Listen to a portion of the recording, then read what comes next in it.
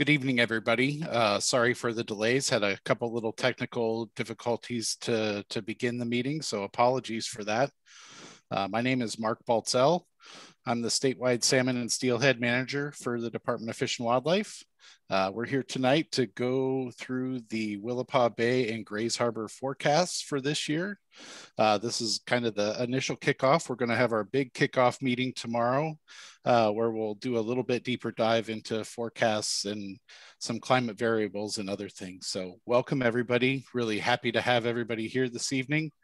Um, for those of you who are joining by phone, uh, I we when we take questions, uh, you'll have uh, the raise hand feature, and please, our our um, our kind of administrator tonight, Leah Snyder. If I say something wrong, please help me out. I, I believe uh, the raise hand feature is star six, and the uh, uh, to mute and unmute yourself is star nine. Did I get that right?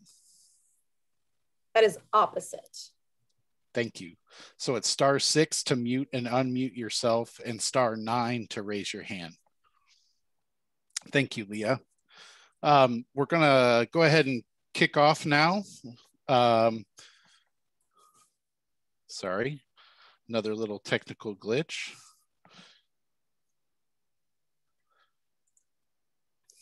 Everybody still see the presentation okay? Yeah, looks good. Um, we Thanks, see your slide sorter on the left there. Mark. Yeah, it, it's not, it's back out of presentation view, Mark. Sorry about that, everybody. There we go. Uh, we're gonna, here's a little overview for tonight. Uh, we're gonna do some staff introductions and talk about the meeting, a little bit of the North of Falcon process. Uh, we're gonna go through our rulemaking process and how that fits in with North of Falcon. Uh, we're gonna dig into the forecasts and management objectives for this year uh, for both Willapa Bay and Grays Harbor.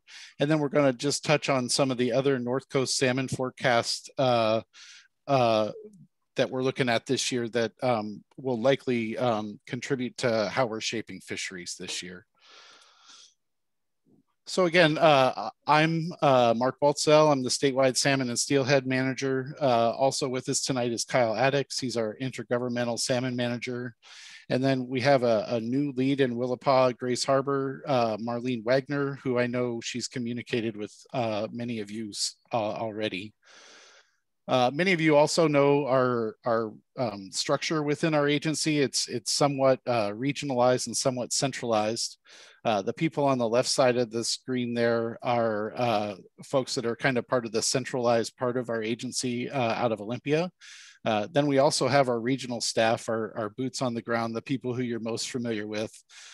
Regional Director Larry Phillips is um, oversees the director's office uh, from Region 6. Um, James Losee, uh, the regional program manager, is also on with us this evening.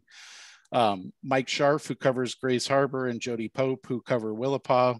Uh, Rob Allen covers our hatchery operations. And then Kurt Holt and Kim Figlar Barnes uh, cover the Grays Harbor area, and Barb McClellan and Lyle Jennings cover the Willapa Basin. So uh, many of you are very familiar with our processes. We're here tonight to kick off the North of Falcon process. Uh, obviously, this is your uh, one of your uh, several of opportunities to provide meaningful input for us uh, and help guide our decision making as we go through this preseason process and try to implement fisheries. Obviously, we're here to answer all the questions and share all the information we have as we're planning these fisheries. And uh, the main reason we're here is to list, uh, solicit your input for fishery suggestions. So uh, with that, thank you. I'm gonna kick it over to Marlene and she's gonna take us through the next section.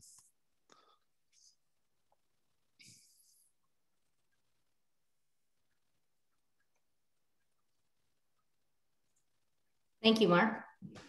Yeah, so I'll start off by giving you just sort of an overview of fisheries management um, for salmon uh, on this side of the North Pacific. Because salmon swim across international borders, salmon fishery planning happens at a lot of different scales and jurisdictional levels.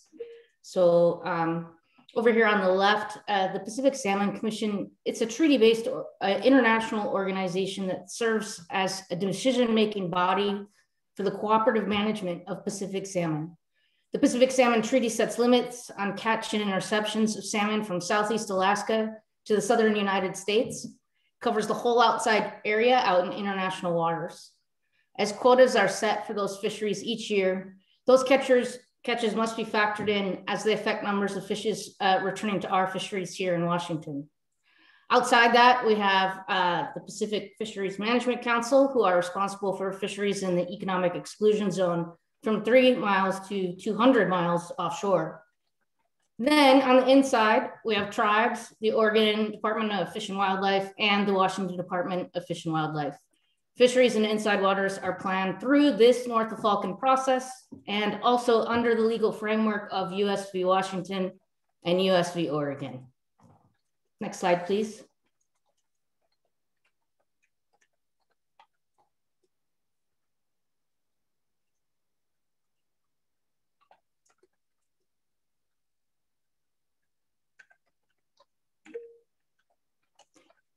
So this slide, it, just provides a brief overview of the North Falcon process in a, in, a, in a nutshell, a really small nutshell, like a pistachio nut.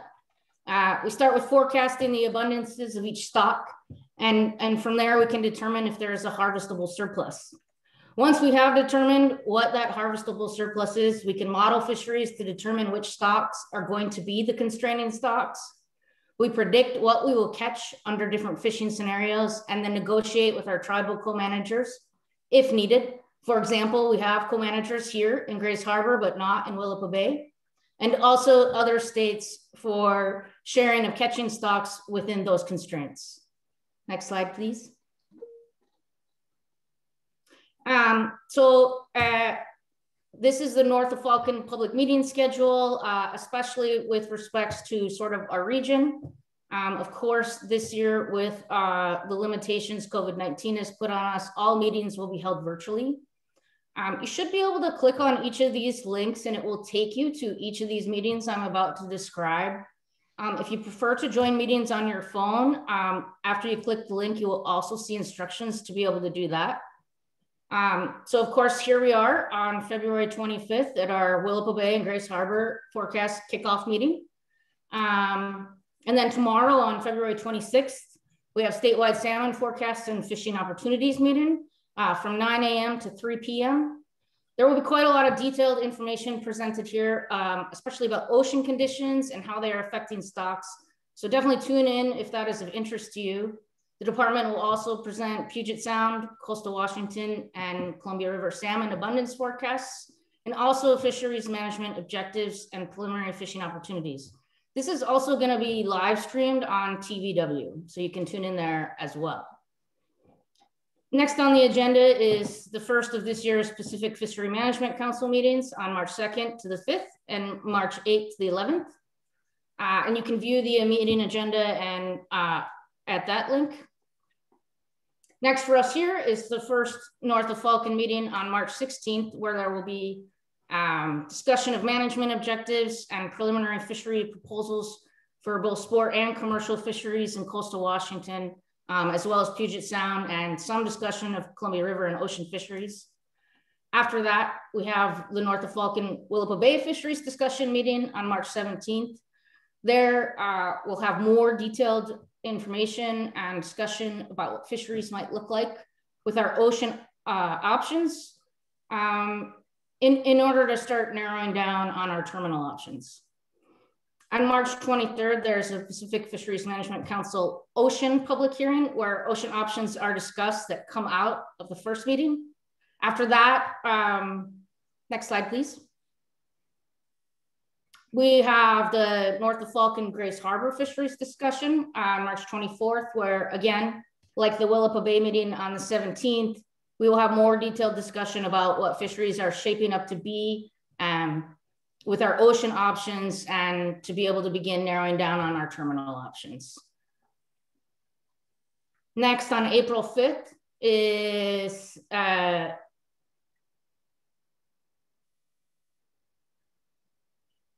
I skip north of Falcon? Pardon me. On April 5th, we have our Willapa Bay, our second Willapa Bay fisheries discussion. Um, and that'll be focused on developing the fisheries further, fine tuning the fisheries, and, and narrowing down what Washington fisheries are going to look like. April 6th, uh, we're going to follow up. Excuse me, that was our second North of Falcon meeting on March 31st. On April 5th and 6th, um, we're going to follow up again with our regional meetings with the public for both Willapa Bay and Grays Harbor. And everything is going to culminate at um, the Pacific Fishery Management Council meeting two. Um, we'll narrow down on ocean options, or the council will rather, and uh, get a proposed fishery package where we can start to move through the formal rulemaking or Administrative Procedures Act process or APA. And with that, I'm going to hand it over to our in-house expert, uh, Mr. Kyle Addicks, to describe this process. Thank you, Marlene. Um, so as Marlene ran you through the North of Falcon schedule, as we um, close in on seasons and start to set fishing seasons and regulations for the upcoming year, we also go through a formal rulemaking process under the Administrative Procedure Act. Um, the process for this year actually started back in January when we filed what's called a CR 101, a code revisor form that is a notice to the public that we're about to undertake rulemaking. Um, those were filed back in January, one for recreational fisheries around the state and one specific for Willapa Bay and Grays Harbor commercial fisheries. And the rest of this is just the generic APA process. So we don't have the dates all filled in yet. But after a minimum of 45 days after that initial filing, we can file a CR 102, which is the actual proposed rules that we are considering adopting. From there, we um, have another public hearing and we take written comments on the proposed rules and consider making modification to those proposed rules based on either comments that we received or any errors that we identified that were in the, the proposed rules in the um, CR 102. And from there, we go to um, a CR 103P and concise explanatory statement filing. The CR 103P is the actual rule that's being adopted that the director will review and consider adopting. That gets published to the Washington State Register after 14 days, and the rule becomes effective 31 days after filing of, filing of that final CR 103P. Um, with the North of Falcon process, between the filing of the 101 in January and that 102 filing that will happen later, we have a, a very large public process and a next slide mark. The north of falcon process. So this is where we take most of our public input. We hold this long string of meetings that marlene um, showed you the schedule for. As we move towards filing the proposed regulations and the 102 we've already gone through this big public process that those those rules are as we hope as close to the final rules as they can be um, although we still do take additional comment and uh, have a public hearing to consider changes to those so that's the, the quick summary of the APA process and how the North of Falcon process fits into it. And with that, I believe I'm passing it off to Jody Pope.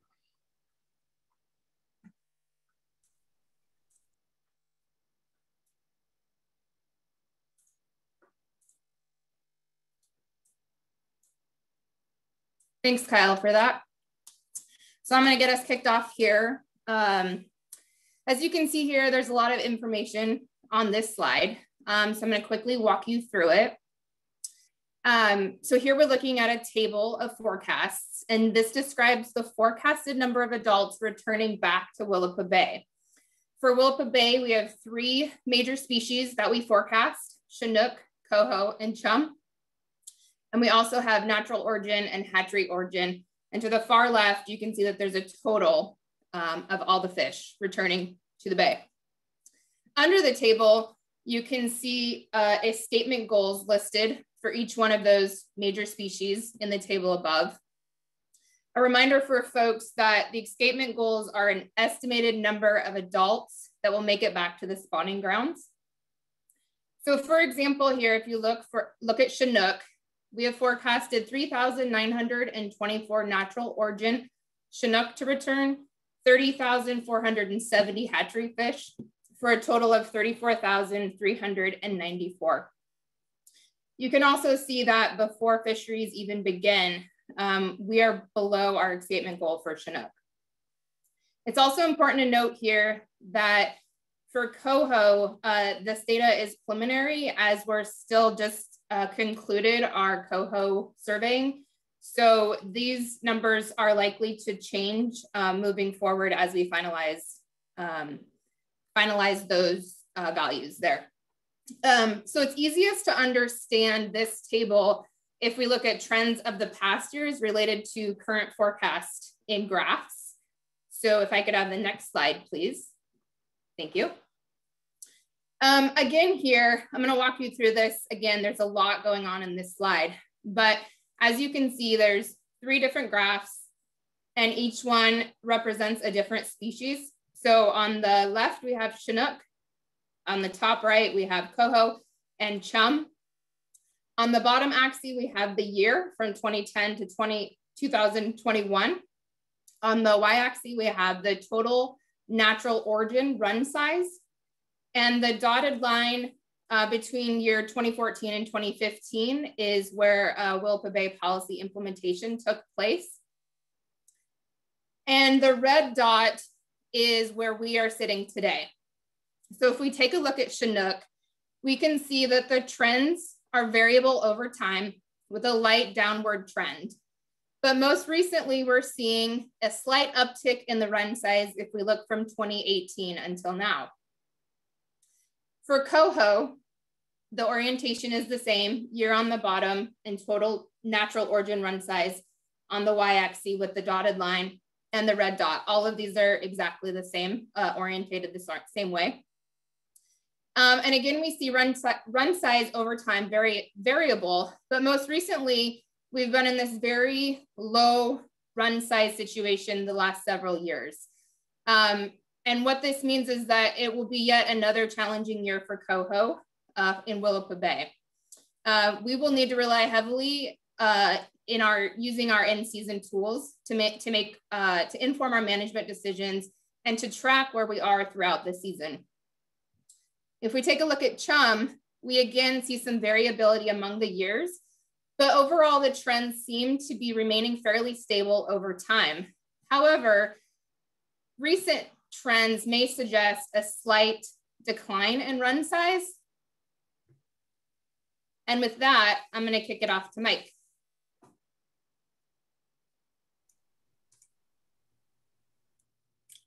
Hello all, hopefully I've uh, pulled up on the screen over there. Um, I'm Mike Scharf, the District Bio for Grays Harbor. Um, I'm gonna run through the forecasts for the Grays Harbor Basin. Um, I'll just run them through real quick on the first slide. We have Spring Chinook, Fall Chinook, and Coho.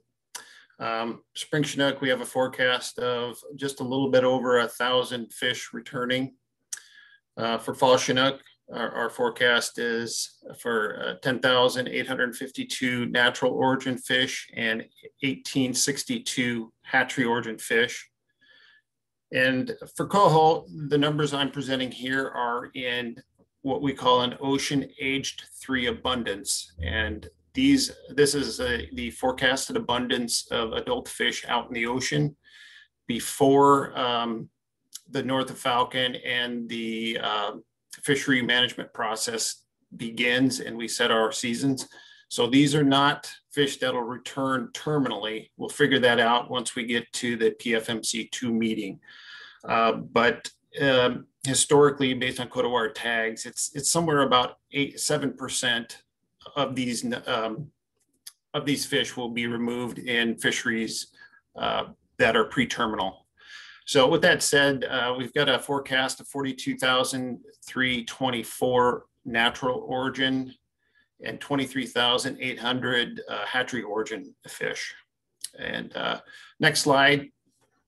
Uh, to kind of bring these into context, uh, last year we had a forecast of spring Chinook of about 1,200 and uh, we saw quite a few fish come back. Um, there's a little bit of caution in that number. You'll see in 2002 on the graph, um, more than 2,000 uh, escaped to the spawning grounds. Uh, a lot of those fish occurred in the Skookumchuck, and there is some concern that the artificial flow regime that's created through the operation of the dam may have brought in some uh, false Chinook uh, a little early um, we are working with the uh, dam operator to uh, to see if we can alter flows there to get it back to a more natural regime. But spring Chinook performed a little bit better than our forecast, um, which is a good thing. Um, switching to fall Chinook, we also had a, a uh, better return than we did uh, in our forecast. Excuse me. We had a forecast last year of uh, about 11,000 natural origin and uh, the return to the basin was about 16,000. Our forecast this year is about 10,000. And if you wonder why it's a little bit lower, um, a lot of the four and five year olds are coming off those smaller returns of 2016 and 2017. so hopefully we'll see in future years that that'll go up. But one thing is nice to show here is that we've had a decent return of our fall Chinook the last three years. Um, coho is, is a lot like what we saw at Willapa Bay. Uh, we, we've seen this decline since 2015. We had a forecast of about 40,000 natural origin fish last year. Um, we don't have our escapements done for 2020, so we can't really compare it. But um, our return in 2019 was about 26 to 27,000, so a little bit low. Um, and 2020, based on the reds that we've seen so far this season, is going to be in about the same range. So our forecast has been a little bit higher than what we're seeing actually come back. Um, so th those are some kind of comparisons to the Chehalis Basin forecast versus um, what we're seeing recently. So uh, now moving to uh, Humptulips. Next slide. Uh, our forecast for 2021 uh, for fall Chinook is 44,668 uh, natural origin and 5,640 or 96 uh, hatchery origin. A little, little, bit above last year. Um, for coho, again, this is an ocean ocean ocean aged abundance. Uh, for natural coho, it's 2005 seven, 19, sorry. And for hatchery origin, it's uh, 7,874.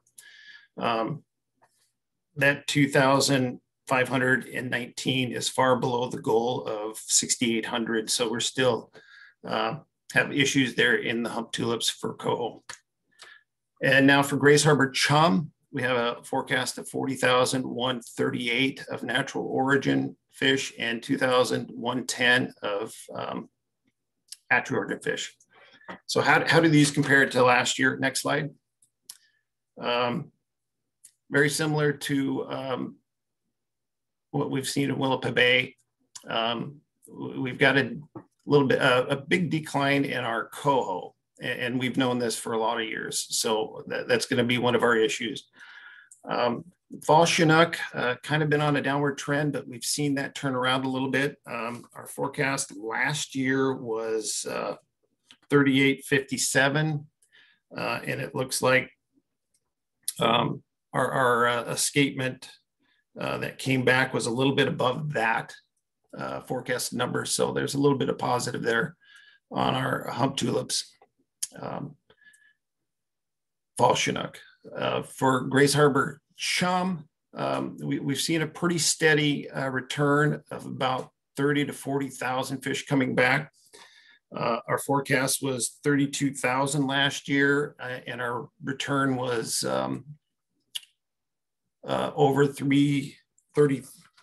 And that was about, it, it, should be in the, the 40,000 range. So um, our, our, co, our chums is, are performing uh, pretty consistently in the last several years. Um, and in our last group of slides for my area, the Queets, uh, next slide. Um, again, we have Queets and Quinault River uh, coho numbers. Again, these are ocean abundance uh, estimates or forecasts. Um, 15,000 natural origin uh, Quinault River coho with 24,645 hatchery origin. Those are pretty uh, consistent numbers across the board. Queets, the natural origin um, forecast is 3,919 and 11,780 in the hatchery uh, forecast. That wild forecast is an extremely low number. So there is going to be a big concern with all our fisheries with that low return. I think with that, I am done. What's the next slide? Oh, recent trends. Sorry, I didn't know that that was there.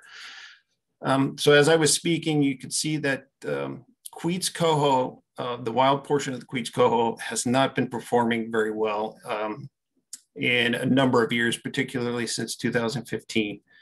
Um, and, a lot of you have understood that we've lost some of our opportunity there and, and th things aren't getting better. Um, good news is that the Quinault coho seem to be doing pretty good. So um, forecast is a little bit lower than the previous few years, but um, it's been fairly steady over the years. And I think I am done now. Oh, no, I'm not. Management objectives. I get to move right into that. So with all of that being said, what do we got to look forward to this fall? Um, with a, a, forecast for spring Chinook below the goal, um, probably not going to be targeting those in any fisheries uh, coming this summer. Uh, we've had a few years of pretty low returns and, and, a couple of years of rebounds. Probably best to be a little conservative with this stock. Humptulips coho, uh, for 20 years we've been below goal. Um, we're going to be um, crafting our fisheries to uh, keep our, our, WDFW impacts under 5%. Um, Chehalis coho, uh, we haven't made the goal three out of five years. Um, and, and, so that puts us into a, a management uh, regime of looking at keeping our impacts under 5%. And I will also bring up that under the Pacific Salmon Treaty, the forecasted abundance is falls within the moderate abundance category, but at the low end. And if many of you remember 2018, we were in a low abundance category and we had a maximum exploitation rate of 20%. This year, it's going to be somewhere in the neighborhood of about 22.2%, with Canada having the opportunity to take up to 8 point, I think 4%, but don't quote me on those numbers, but it, it's in that general category. So um, th there's going to be some struggles in getting um, fisheries pieced together with some of those limitations. Um, if, if we look on the bright side, uh, chum are looking pretty good. Um, we've made our goal for spring or uh, fall chinook in the Chehalis three out of the past five years, which is the first time. Uh, actually, I think we did it last year, but uh, our our numbers are looking pretty good um, for our chinook population. So um, that that's what we have to look forward to. And with that, I think I can finally pass it back to Jody. Thanks, Mike. yeah, in uh, Willapa Bay, so uh, our management objectives for 2021, folks will remember that for the past several years since policy Im implementation, um, we've had guidance to follow a 20% impact rate for both Willapa and Naselle rivers. Uh, in 2019, we were given guidance to move to a 14% impact rate. And we expect to receive guidance at our commission meeting that will be held uh, this Saturday at 8 a.m. for what our 2021 objective will be for Chinook. Uh, for chum, we're pretty excited about our numbers of chum. Um, we have achieved our escapement goal three out of the last five years. So essentially, uh, we'll be out of the penalty box, if you will, um, so unless we receive different guidance from the commission, we will manage to the escapement goal for chum. And for coho, um, in past years, we've managed to the escapement goal. And similar to the other species listed here, uh, we'll wait to receive guidance from the commission on what we'll manage this fishery to in 2021. So more to come on that after uh, Saturday's um, commission meeting. So if you're interested in hearing that, please tune in to, to that meeting Saturday morning. And this now concludes our presentation. Are there any other DFW staff that would like to add anything before we open it up for questions?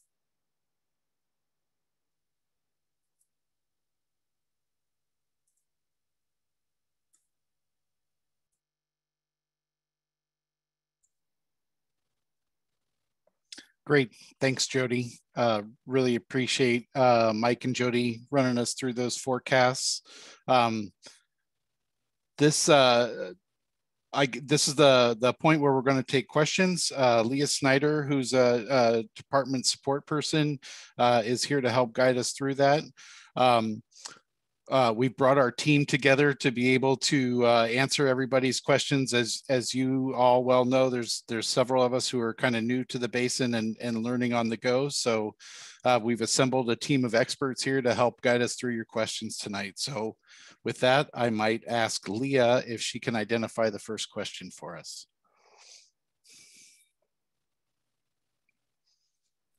And the first question is Lance Gray. Lance, I have allowed you to talk, but you may need to unmute yourself. Okay, am I on there? Yes, Lance, go ahead. Hey, um, I was wondering when I when I look at these escapement goals and stuff, when we put these graphs up there, this and this was just kind of a question for myself. Um, would it be possible to put the predictions that we had in years past in a red line or something, so we can see where we you know, we predicted we we basically look at a graph that says this is what came back and not looking at what we predicted so we can see how we're doing, I guess, prediction wise to what the runs are doing in in future. We, we've done it before, and I just was wondering if that was something we could go back to to show, you know, show how accurate or how we're doing on our predictions versus what actually came back. Maybe I'll just take a first stab, and if other uh, staff want to hop in, uh, Lance, thanks for that. I, am sure if it's something that we've done in the past, then uh, we can put our head, collective heads together and and kind of do a redo on that and distribute it to the to the distribution. So um, so you have that. Um, and if I misspoke, please somebody uh, step up and tell me you're wrong, Mark. Yeah, I might add in something. I, I won't say you're wrong, Mark. But uh, one thing, Lance, so that's a great suggestion, and that's that's pretty easy to do. Jody and Barb have great accounting of how we've done in Willapa Bay, and Mike Scharf has, you know, of course, been the district bio for a number of years. So those data are available. Um, just since I know you you've been around too, and you understand this process. Um, one important part about this forecasting is uh, each year we hope we get better at forecasting than the previous. So we look at a range of options for forecasting, like a bunch of different tools we could use. And so uh, this forecasting method, specifically for Chinook in Willapa Bay, can change through time. So one thing I would suggest, and maybe we talk about it offline, is um, we do this. We look at all these different tools, and we look back in time and, and ask the question: Had we used this tool in the past, how well would it have performed? and then we choose among all these different tools which one will would have performed best over time so um, one thing that i think might be helpful maybe even better than seeing how poor or good we've done in the past is looking at the tools jody used Jody. in Bay this year and showing um, our forecast performance using those tools in the past um, does that make sense lance yeah no i yeah i just it, it's it's hard for you know, I know you you spoke to it tonight a little bit where you said, you know, this is what we forecast. This is where it came, you know, it came in, and we're forecasting this for, but it doesn't show the graph. Just just for me, I'm more of a visual person. I guess I like to see, you know, we we, we forecasted fifteen thousand of Chinook and it came back at thirty thousand, or you know, you know what I'm just just so I can look at where it is, you know. But yeah, no, sounds good. Yeah, those data are handy. So we we use you know the term forecast performance, and Jody's done all that work. So um, we can we can just share that with you here in the coming weeks, so you can look at it and with others too. Okay, thank you. Hey, if I can, uh, Lance, Ron Warren, uh, on Saturdays or at Saturday's commission presentation, we don't do it in the line graph like you're describing, but we do show a comparison of what was forecasted versus actual returns uh, for each of the species in Willapa in our presentation. So you'll be able to see it there. And that, that is available online uh, for the nine o'clock start time for the Willapa presentation on Saturday. Okay, thank you. Yep.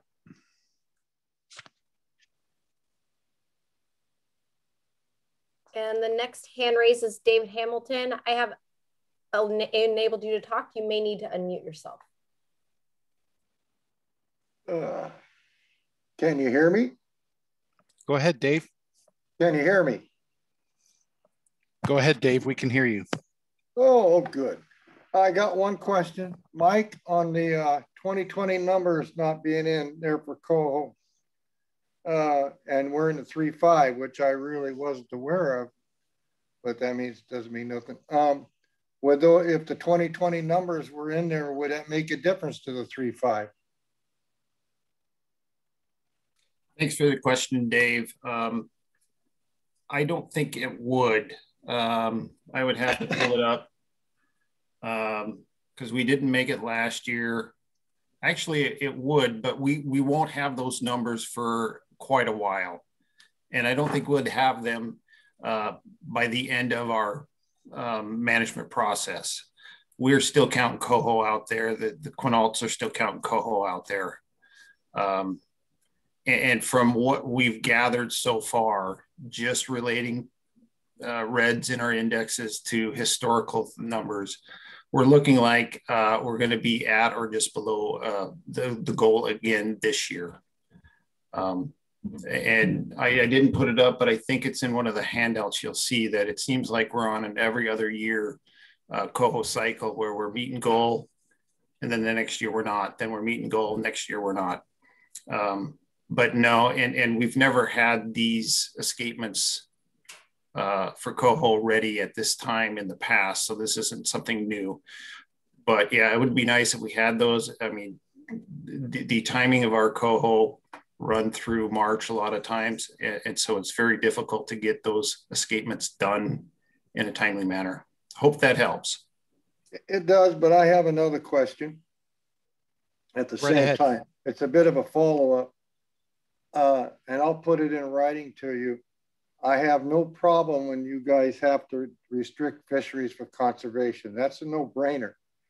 But uh, the last few years, as you're well aware, I watched it pretty good. Um, the thing that I've noticed is the way we do it, like last week, we had a two week down window, and we've done that before. Well, what happens is if it rains early, or the fish are early, upstream might benefit. If it goes the other way, downstream, the way you do it with a two week shutdown, somebody's going to bear all the, uh, most of the burden of it. Just depends what the fish and the weather do. In other words, it's not an equ equitable way to do it for all terminal users. I would kind of suggest that we could look at something like the ocean does. In other words, last year we had to lose 14 days. Oh, okay, then let's just lose two days a week. Let's say sun, Sunday and Monday. All right. And that gives you your 14 days. And if the fish make a charge early, it doesn't really blow the, the, the bottom guys clear off the map or the uh, either way around. In other words, it's just a more equitable way to ensure that the conservation burden is pretty well carried by everybody instead of whichever portion of the users happens to be have the bad luck to have the fish do it to them. Do you kind of understand what I'm saying? Uh, I certainly do, and hopefully I'm not overstepping somebody else's grounds. But uh, yeah, it sounds like if there are conservation closure needs, that a two-week block probably isn't the greatest thing. If we could extend that two-week block into a couple of days for a couple of months.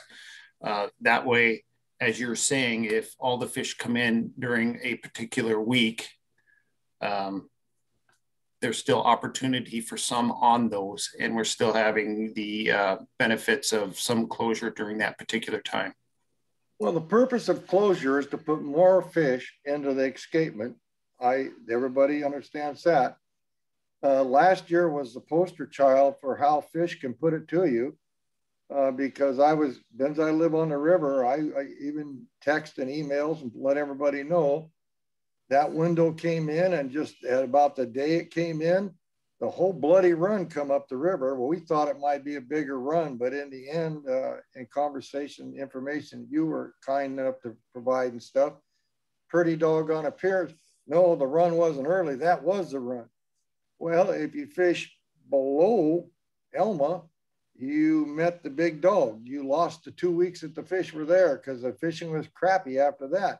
If you were inland, it was the, it was a dream come true. The whole run was right there, and you had access to them. Then it rained, and they shot up farther, and that made upland people happy. Uh, when the tribal fisherman was getting scales not set coho in, in the first week of, I mean, sec, uh, third week of October, which he had, he is like unheard of.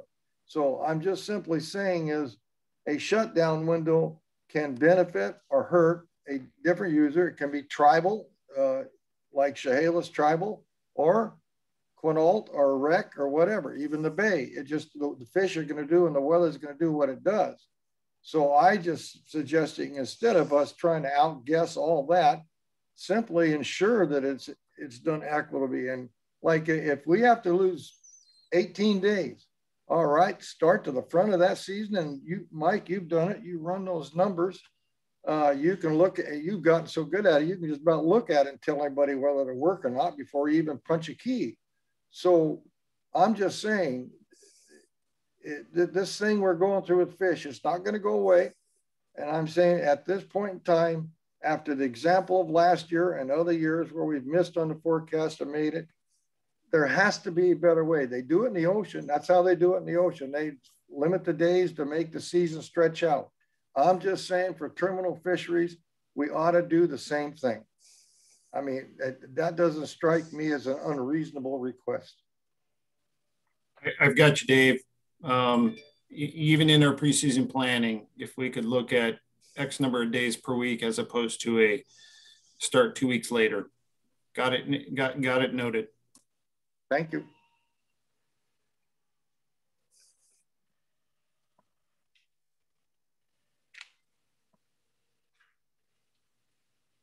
Leah, is there another question?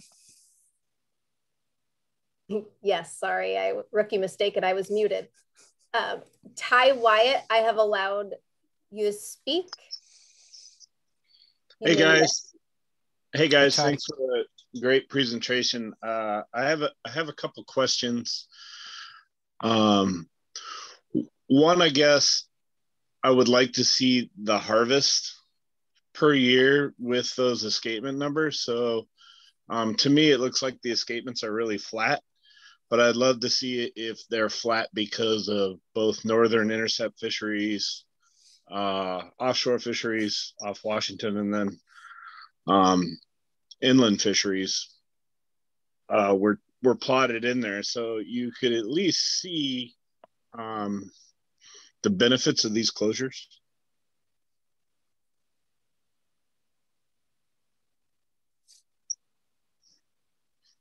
Who's going to take that one?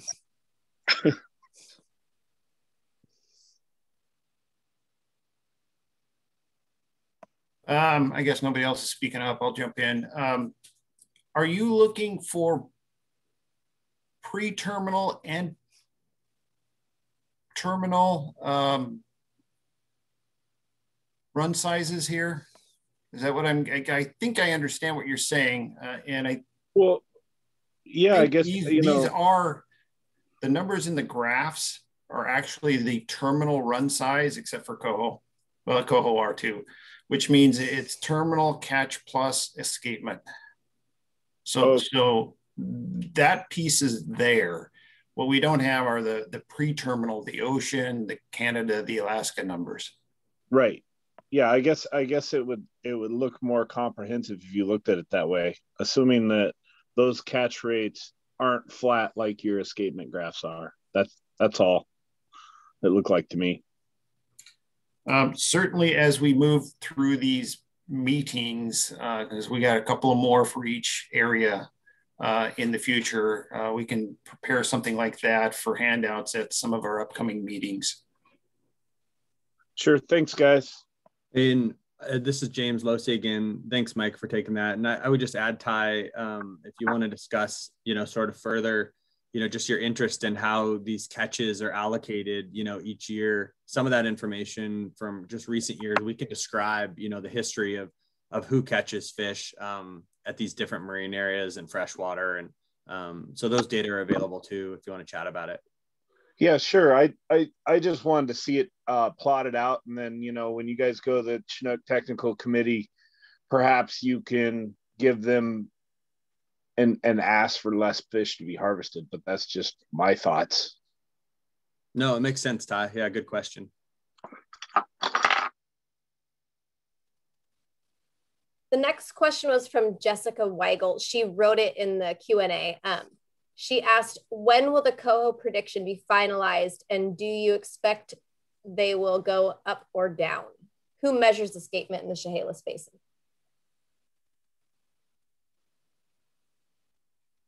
Well, I heard Chehalis, so I guess that's me again. Um, I can address um, the numbers that were presented in this for forecasts. Those numbers will be lower because they do not include the pre-terminal or the Ocean Canada Alaska numbers. So we will get those numbers and hopefully they'll be finalized during the uh, PFMC two meetings, which were um, scheduled for, I think, April 16th. 15th is when they'll conclude. We'll have a pretty good idea prior to the, that point. Um, but those numbers will go down. Um, like I said, on, on average, historically, uh, they'll go down about 7% is a good estimate. Um, as for escapements, that's part of my crew. Um, we conduct, along with some of the surveys that are done by the Quinault tribe, but uh, my crew, uh, we do our the spawning ground surveys in the Chehalis uh, Humptulips Basin, and we are the ones that uh, do the uh, escapement estimates for all our salmon and steelhead stocks.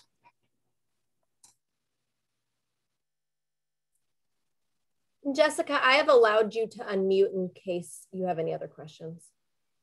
Um, so when you say your team does the escapement measuring, so are those like biologists? Are they temporary hires? Are they like long-term, um, highly seasoned staff members, or are they like, like, could you tell us more about who they are?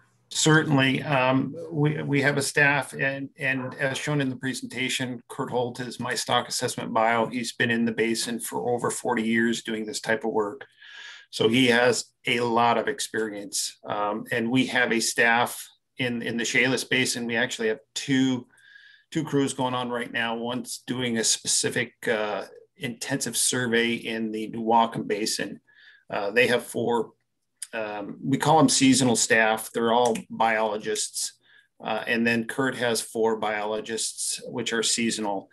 All of the ones we have have many years worth of experience conducting spawning ground surveys, and they're typically hired in September, and some of them last through the steelhead season, which is in uh, ends in June. Uh, so I would say that our, our staff has lots of years of experience. And even if we have to, uh, there is turnover. And when we bring in new staff, uh, they are trained intensively. And like I said, Kurt's got over 40 years of stock assessment in the Chehalis Basin and really knows his stuff. So I would say that we have probably the highest class of knowledge and ability uh, that you can find. Thanks, Mike. And, and this is Mark. I, I really just want to add, you know, uh, uh, and echo what Mike said about Kurt. You know, uh, Kurt's trained a lot of our biologists over the years uh, to do this kind of work, and a lot of those biologists go to other parts of the agency. So uh, we feel really good about uh, kind of Kurt and that team out in Region Six and the quality of their work.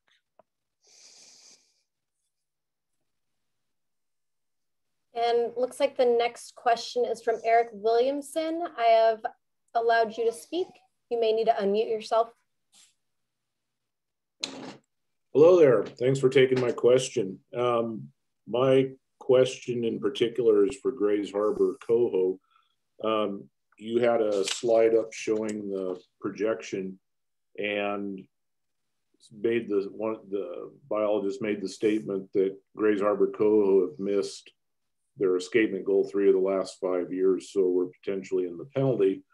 And made the comment that uh, seasons or fisheries might be tailored around a 5% impact instead of uh, managing for an escapement goal. My question is, as a rec fisherman, uh, season wise, could we be looking, what's what, what season we get, could we be looking at a quota fishery instead of a set date fishery, that makes sense? Because of that 5% impact? Yeah, I can address that. Um, I I will not say that we would do a quota. All of our management in Grays Harbor are based on harvest rate estimates. And, and so basically that means that we will set up a season that takes historically uh, catch information and compares it to end of the season run sizes and then produces basically a weekly harvest rate. And, and so with a harvest rate, uh, if the run size comes in higher than forecasted, um, you're still going to impact a rate, like say it's 5% total. Uh, the idea here is that doesn't matter what the actual run size is, your catch is going to be X percent of what comes back. So you may catch more if you use a, a quota. If the run size comes back different than your forecast, then you're either going to catch more fish than you should have, or you actually might lose some opportunity on fish if the run is larger. Because once you hit that quota, you're done. And if you got a big return, you're going to miss out. But if you use a rate, then the catch is going to adjust according to the run size. So we use rates and not quotas in, in terminal fishery. even with that 5% impact projection management? Yes. And I, again, I'll, I'll reiterate that if we're wrong and the forecast come or the, the actual return comes in larger, then you have more opportunity. Right. Okay. Thank you. And it looks like our next question is from Francis. Francis, I have um, allowed you to talk. You may need to unmute yourself.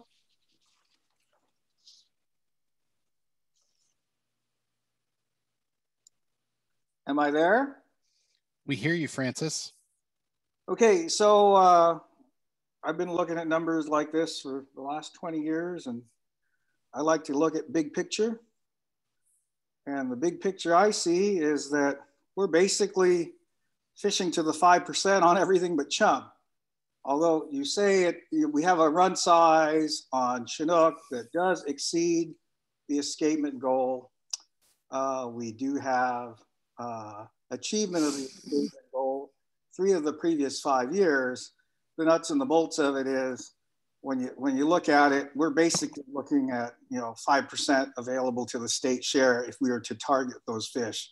And I can tell you right now, if we target them, we're going to overshoot because the fishing power for Chinook is just it's it's mind blowing what the sport fleet can do to a Chinook run in this basin, especially one with such a marginal surplus. I mean, it's really, it's right at 110%, give or take 100 fish, okay? And if you split that with the tribe, well, then it's give or take 50 fish, okay? So uh, we've, the only other time we've been in this situation where we had, you know, we're in penalty box for kings and we had a, uh, a, a, really big conservation concern for coho was in 2016. Um, I push for this every year because I think it's the highest and best use of a hatchery fish.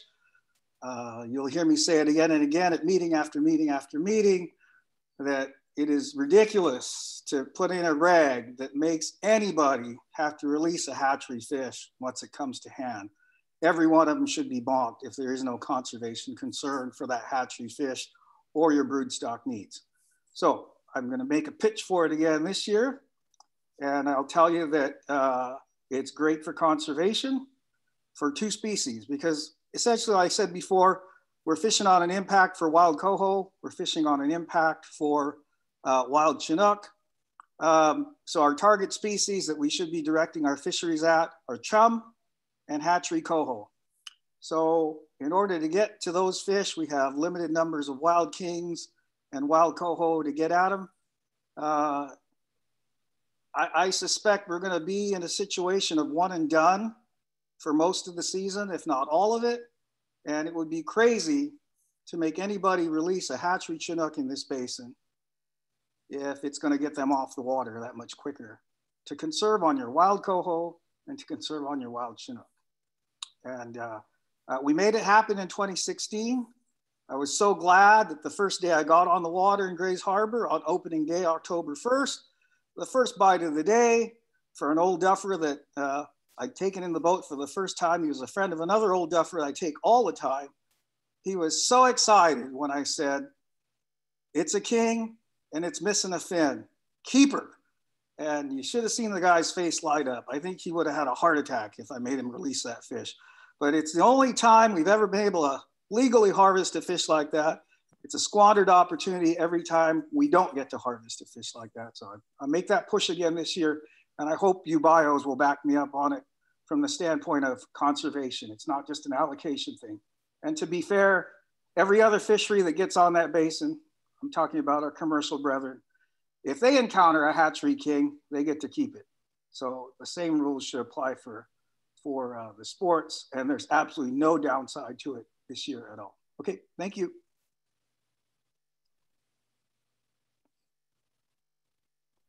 Thank you. It looks like Melanie is has the next question. Melanie, I have allowed you to talk.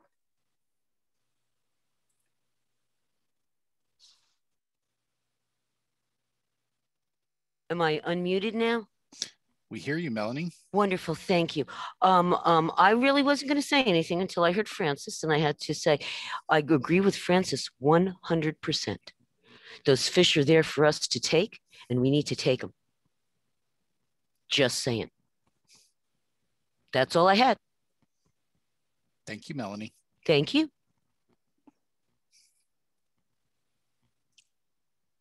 And it looks like Dave has his hand back up.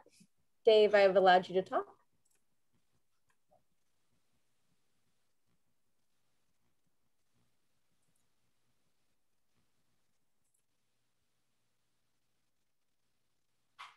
Unmute.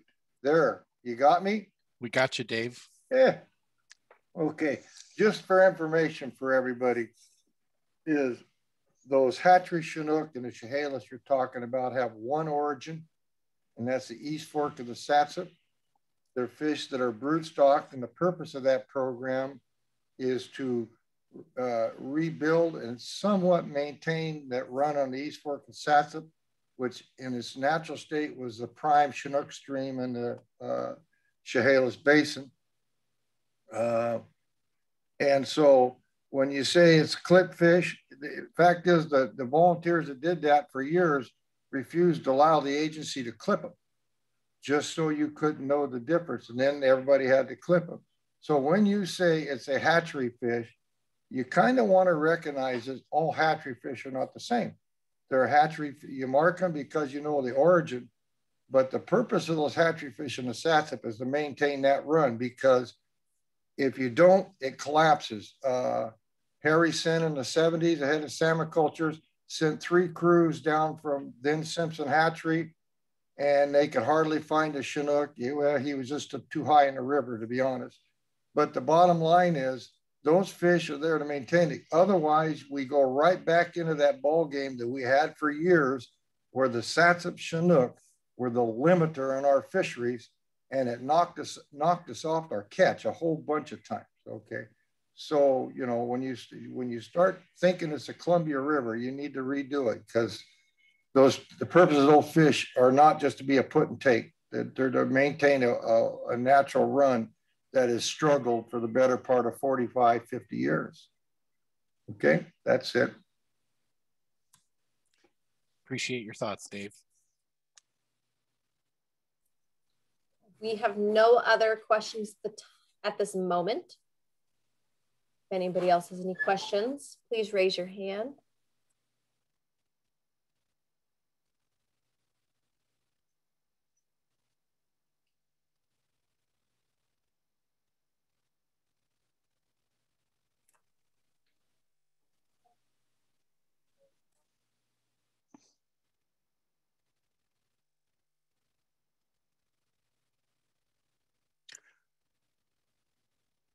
Well, I uh, uh, since nobody else has any questions, uh, I might just start talking here. Uh, reminder uh, to folks that we have um, our forecast meeting, uh, our big statewide meeting tomorrow. And maybe I'll pause a second and recognize Dave again. I was busy typing away. I'd clicked on it. I have a question for Mike. Uh, I was waiting for somebody else in the upper basin to say it, but they didn't. Um, the Springers. Um, Kurt knows where they all spawn. He doesn't like to tell you, but he knows where they all spawn. Uh, my question is, are you going to shut the entire river down for fishing like you did for the zero impact thing a bit back? Or are you going to do some other restriction that that uh, protects the spring Chinook? In other words, uh, use a more targeted approach rather than a double barrel shotgun in both barrels. Okay, and that's kind of my question to you, Mike. Yep, got it. Um, you know, we, we haven't gotten that far yet. We don't know exactly what's going to go on. Um, I, think I'm going to approach it as we have most every other year is that, oh, look, we just don't have enough for a, a targeted fishery. Um, we've seen, we saw a couple of years of some really, really low numbers that scared everybody. We're seeing a little bit of a rebound. Uh, so at this time, I'm not sure uh, we would move forward with a total lockdown. Um, at this point, I don't, I'm not sure if it makes sense, but um, certainly that's not going to be the first thing on my plate to do. Hope, hope that helps. Um, well, it does, but I have, uh, I'd like to put one thing in there is uh, if you're trying to catch a springer below South Monty, you might as well kind of go shoot yourself. Even the Quinaults don't have a whole lot of luck at it. I mean, with the with the bloody gill net, uh, if you're going to catch springers, it's mostly going to be above South Monty, maybe around Fuller Hill a little bit, but mostly mostly upstream from there. So if you have to go for uh, a rule change, there's no reason to be draconian about it. Now, like I just argued that we need to do days instead of like a two week window so it's equitable i understand that is i i am adamant about that and i'm going to fight like hell for that one mikey but on this one if you have to protect the springers unfortunately it is the upper basin is where these creatures reside and there are no there is no way in the world to avoid them bearing the, the, the greatest share of the burden and springers okay number two is we got a tiny little Springer run. It's an aberration, really. Our Chinook, we have one big Chinook run. It just starts early, and then we got what we call Springers. We got summers. Uh, we got falls, and we used to have a December one. They're kind of gone. So bottom line is, to me, is pretty simple. Is the thought of having a Springer fishery on anything that you keep is absurd because that run cannot take the pressure. Okay. And that's simply it. And one last thing, piece of information. That I'm an old geezer. Um, the, the Skookumchuck Dam. When that dam was put, put in, R.W. Stone and a Region 6, he was fish management program manager then, he argued against mitigation for springers because he said the augmented, the flows with the tri-level cooling and everything would produce a vibrant recreational fishery. Now, you say you're worried about the falls coming up. I, I, I, I got you there, but you, you, you should understand is that dam is working exactly like the agency wanted it to. That is what they wanted done. Okay. So if it's causing you problems now, well, it's kind of late, guys, because you you kicked mitigation to the street the side and you went for what you got. And so I think now you just have to deal with it. All right, Dave, I did note down uh, your comments about evaluating where and if and where shutdowns could be more effective. while still thing, keeping things open. And yeah, as for what happened historically, unfortunately, we can't do anything about it now. We just have to work with what we have. And, and we've learned a lot since back in the, I think it was in the 70s when they built that dam. And uh, hopefully we can get on top of some, some things that may benefit the, the species. By the way, we won't talk about the weir that was supposed to be in to keep the fall Chinook from getting to the summers, the, the spring Chinook. Just need to throw that in there so everybody knows. I don't hear anything. La, la, la, la. What? I, I can't hear anything. I'm joking. Oh. Joking with you, Dave. Oh. uh, Three dirty words. Thank you. Thank you, Dave. Um, I think I saw Greg McMillan with a hand up.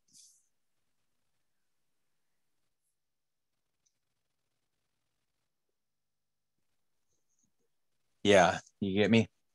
We got you, Greg. Go ahead. Yeah, I my question is um, since uh, on the Willapa side, since uh, the department is going to go to the commission or the commission meeting soon.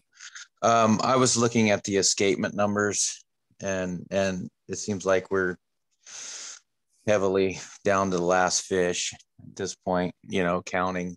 And I was just wondering if there's been given any thought on putting some sort of asterisk or something in there, you know, on these numbers because uh, I know particularly on the Naselle, we we had two considerable water events right when the fish were at the hatcheries and and right you know and the, to where the weir the weirs had went down and and um, it, I was just wondering if that ever gets captured in any of these numbers.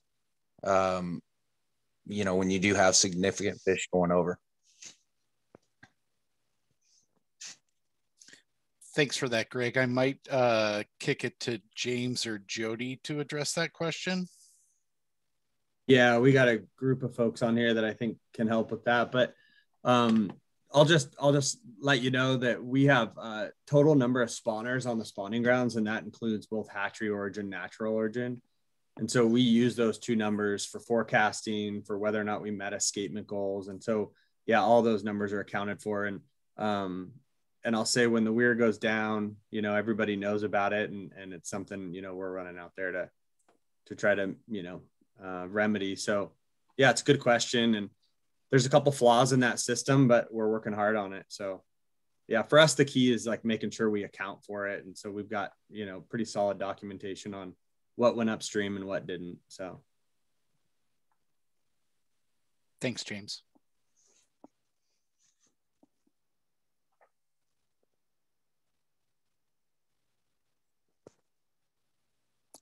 Any other questions tonight?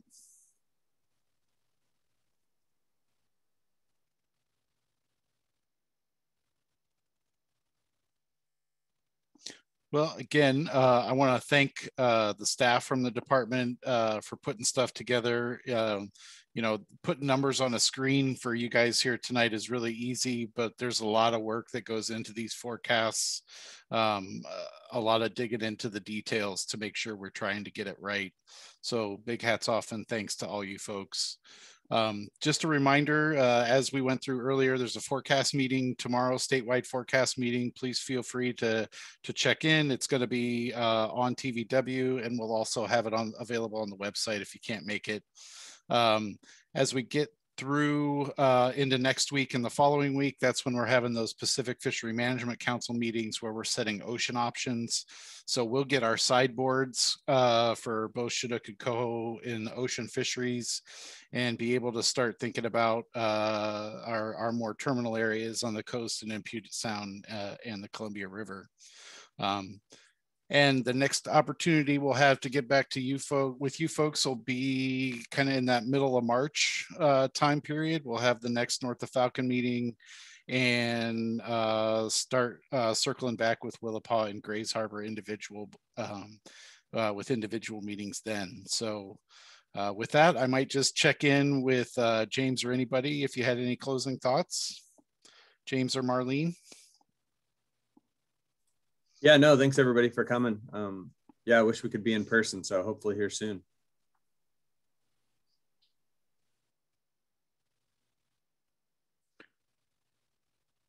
Great. Well, thanks everybody again uh, for being here, providing comments, uh, asking questions. We really appreciate your time uh, and your interest in, in what we're doing.